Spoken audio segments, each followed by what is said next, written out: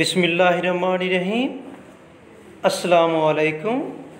Dear students, today topic is air passageway.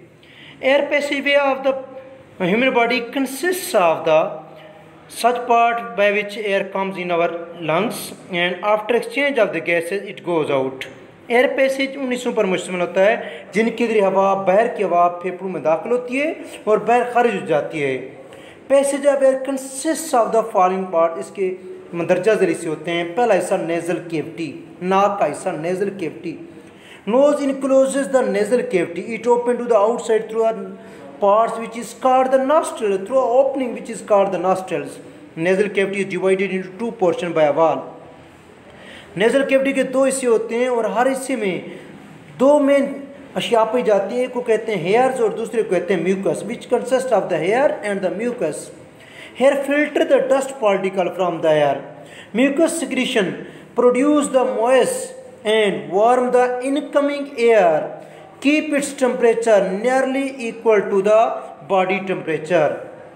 Nasal cavity opens into pharynx by means of the two small opening called the internal nostrils.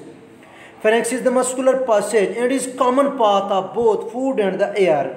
It extends to open opening of the esophagus and the larynx. There goes from the pharynx into the larynx. We know that there is present a upper depression which is called the glottis. Glottis is narrow opening at the floor of the pharynx which leads into the larynx. Larynx is a box made up of the cartilage. It is present between the pharynx and the trachea. It is also called the voice box. Two pair of the fibrous band called the vocal cord are stretched across the larynx. Vocal cord vibrate when they are passing through it for this vibration produce the sound. Let us continue to trachea. Trachea is a long tube which is called the windpipe. Its length is about 12 centimeter. इसमें जो voice box वाले रेंक्स वाला हिस्सा होता है वो voice box वाला हिस्सा होता है इसमें दो दो फैब्रिक बैंड पाए जाते हैं जब हवा इनसे टकराती है तो प्योनो जैसी आवाज़ पैदा होती है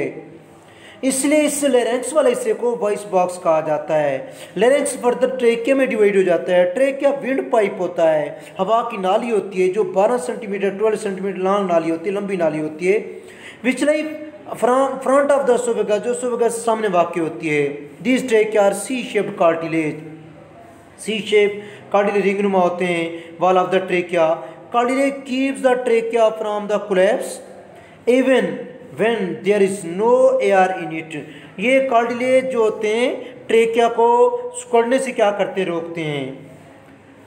on entering the chest trachea divided into two bronchi when जब ट्रेक के अंदर दाखिल होता है तो फेफड़ों में ट्रेकिया दो ब्रोंकाई में तकसीम हो जाता है सिंगुलर ब्रोकस इसके बाद ब्रोकस होता है bronchi also have the cartilaginous plate in their wall bronchi में कार्टिलिजनस प्लेट भी पाई each bronchi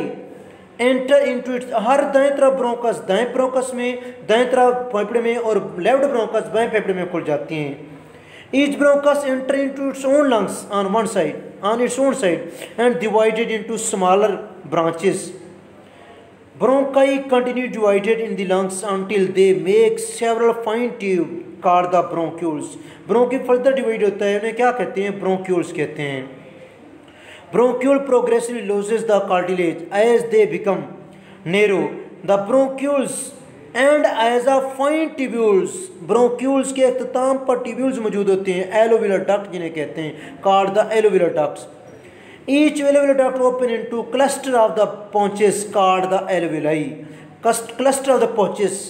अंगूरनुमा गुच्छे मौजूद होते हैं उनको क्या कहते हैं एलविलई कहते हैं alveoli from the respiratory surface in the human body each alveoli is sac like structure lined by a single layer of epithelial cell it is bounded on the outside by the network of the capillaries इसमें capris का एक जाल मौजूद होता है जिसके लिए गैसों का तबादला होता रहता है pulmonary artery from the heart दिल से जो पलमोंडी आर्टरी होती है वो डी ऑक्सीजन खून लाती है फेफड़ों में पलमोंडी आर्टरी वह आर्टरी होती है जिसके अंदर डी ऑक्सीजन खून लाती है वो फेफड़ों में लाती है सो दैट ऑक्सीजन में एब्जॉर्ब एंड कार्बन डाइऑक्साइड में release from it and there is also present the pulmonary vein from this this vein function function vein function carry the oxygenated blood from the blood to the heart part of the body ये आज का topic था बेटा इसको याद करना है अल्लाह हाफिज़